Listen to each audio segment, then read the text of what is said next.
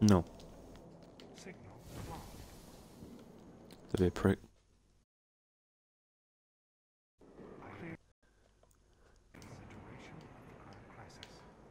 Welcome everyone to another Xurday video. Today he's in the reef.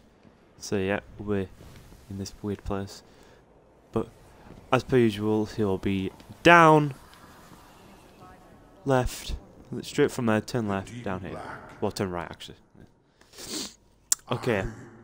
I've seen what he's selling. I'm not really happy with it, but when are you happy with Xur? Twilight Garrison. As for for the Titan, you can't do two airborne evades now at the same time. You can only do one. Just to tell everyone that it has been nerfed.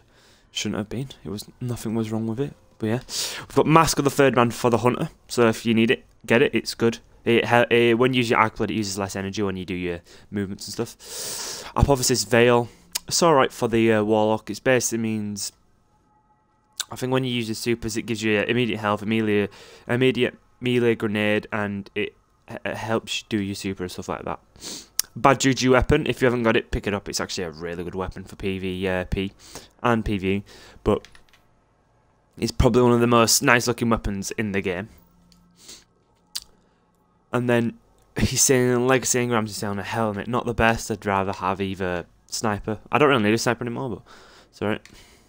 Then he's got the uh, random crappy don't care. Plasma drive, emerald coil, heavy ammo, free of coins.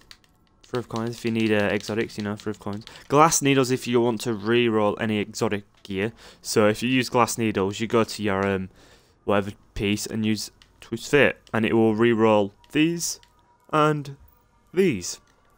Simple as that. I don't think I need to re-roll any exotic. No. Wish could re-roll um heavy. No, heavy um legendaries. But yeah guys. He's straight to the right as soon as you spawn in the reef, so go straight down to the right. He's chilling right here. But anyway, thanks for watching, and I'll see you in the next Destiny video. Bye. I'm done.